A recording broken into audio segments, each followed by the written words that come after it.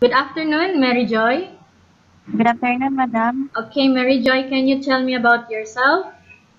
Uh, my name is Mary Joy Estacio, 36 years old. I have a three kids, one boy and two girls. I am a married and and then Okay, I have a few questions for you to answer, so let's start. okay. Why do you want to work as a maid? Uh, I want to work abroad because to support my family, especially to my three kids. Why you choose Malaysia when there is a lot of other country? Because I, I choose Malaysia because I know Malaysia is a very good country. Okay, so how are you qualified this job? I know I qualified this job because I know I I am a hardworking. Okay, what was your recent working experience? I worked as before in Singapore one year as a maid. Okay, um, may I know what your educational level is? uh, Okay, may I know what your educational level is? col- college undergraduate. Okay, so do you have experience of taking care of babies? Uh, yes, I experienced with last in Singapore. I take care I take care one month old babies. Okay, so how about elderly people? In the Philippines, I Okay, do you have experience of taking care of elderly senior citizen people? no No experience. Okay. Do you have any other special skills? Yes, madam. Like? Like wash the car, cleaning, ironing, all of the above, madam. Okay, so are you willing to learn new skills? Yes, madam. I'm willing to learn. Are you willing to work with a family where the mother-in-law or any relatives stay together? Yes, madam. Currently, are you still working now? Yes, madam. Currently, are you still working now? No, madam. Do you know how to cook?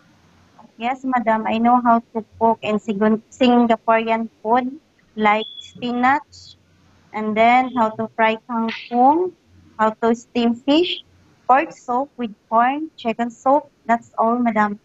Okay, are But you I'm- aware that you will have to do washing, cleaning, ironing, and cooking? All of the above, madam. Okay, so you can do all of the above. Yes, madam. If ever I can do it. selected to work in Malaysia, who will take care of your children? My husband. You are not allowed to use handphone during working hours. Yes, madam. You are only allowed to use handphone after you finish all the works and when going to bed. Yes, madam. Okay, so if ever your employer finds out that you're abusing of using your handphone and it's affected your work performance, your employer will confiscate your handphone and you are not allowed to hold it anymore. Mhm. Yes.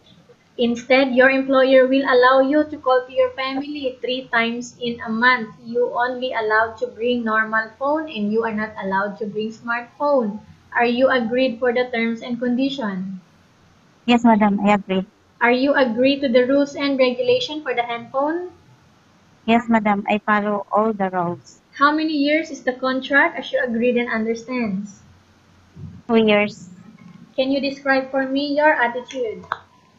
Um, loving, caring, espe- especially I'm a, I am a patient, and then hardworking. How can you assure to us that you will work hard in Malaysia?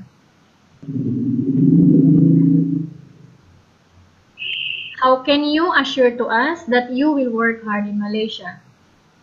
Assure I I assure you to to work hard, very hard, and then and I assure you to to follow all the rules, and then I as assure you to to patient to patient all people in the house, especially my employer. Okay. Can you promise not to use the telephone without the permission of your employer? Yes, madam, I, I, I promise. Can you promise not to put on makeup but to dress properly while work? Yes, madam. Can you promise not to invite friends and relatives without the consent of your employer? Yes, madam. I promise.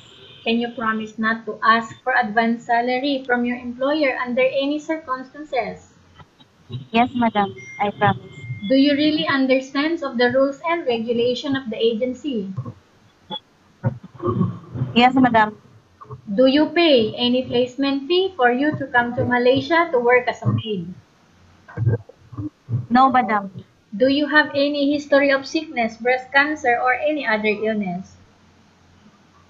No, madam.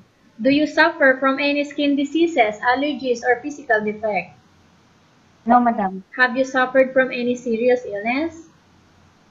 No. Do you smoke? No. Have you undergone any operation before? Ligate.